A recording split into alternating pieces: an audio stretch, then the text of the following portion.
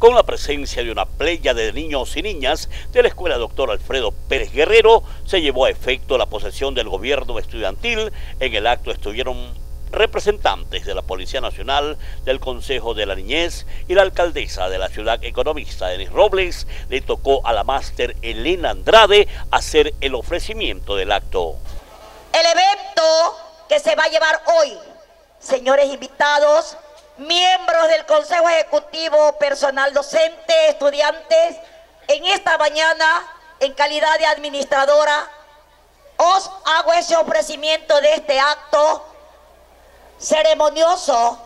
también cívico, porque justamente hoy es una fecha cívico, 25 de julio,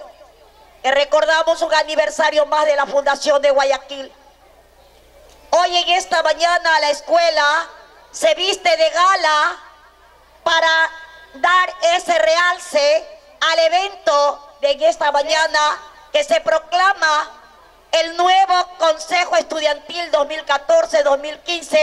de la Escuela Doctor Alfredo Pérez Guerrero.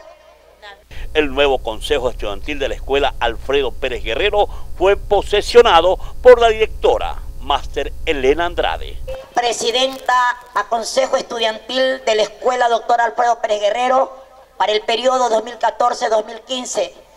junto a su comitiva de representantes como es el niño vicepresidente, la niña tesorera, secretario, principales, vocales principales, vocales suplentes y el coordinador,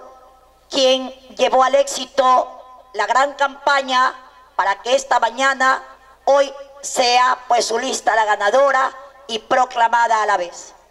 Acto seguido le tocó al economista Denis Robles colocar la cinta que simboliza la responsabilidad que cae sobre los hombros de la nueva presidenta estudiantil, niña Melina Fuentes. Finalmente, la alcaldesa de la ciudad, economista Denis Robles, realzó el civismo de los niños y niñas estudiantes de la escuela Alfredo Pérez Guerrero. Claro que sí, esta mañana estamos aquí en la escuelita Pérez Guerrero, en la cual hemos sido invitados a formar parte de este evento tan importante para, para la escuela, en la cual es la posesión